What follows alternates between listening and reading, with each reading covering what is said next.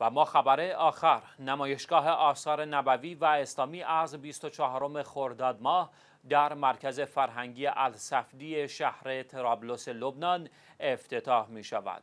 این نمایشگاه با عنوان بزرگترین نمایشگاه امانتهای مبارک نبوی از سراسر جهان تا 31 خرداد ماه ادامه می‌یابد و از 25 خرداد پذیرای بازدید کنندگان خواهد بود.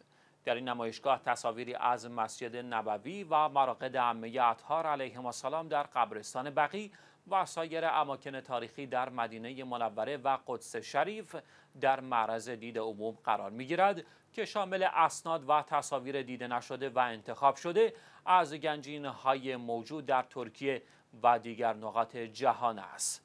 گفتنیز خالد تدموری یکی از متخصصان تاریخ و آثار پیامبران در منطقه مدیریت نمایشگاه آثار نبوی را در راستای برنامه های شبهای رمضانی در شهر ترابلوس بر عهده دارد.